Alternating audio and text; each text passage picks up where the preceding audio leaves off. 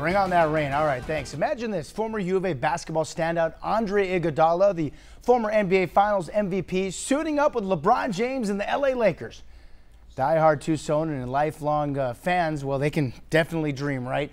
Some NBA insiders are saying Iguodala could very well end up there. What we do know now is that Iguodala has been traded from the Warriors to the Memphis Grizzlies, and now there's speculation that he could be later dealt to either the Lakers or even Houston. The 15-year NBA veteran is 35 years old, but still healthy enough to be a quality six man off the bench. The Lakers now have LeBron James and Anthony Davis, and imagine they can land a trade for the former U of A standout Iguodala, like some are speculating. Wow.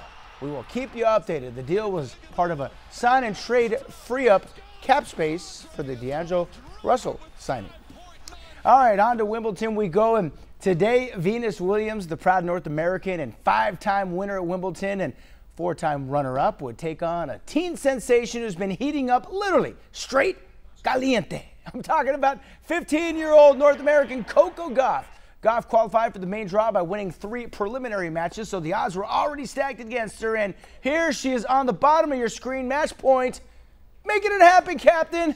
Gauff becomes the youngest tennis player since 1991 to win in the first round of the Women's Wimbledon tournament.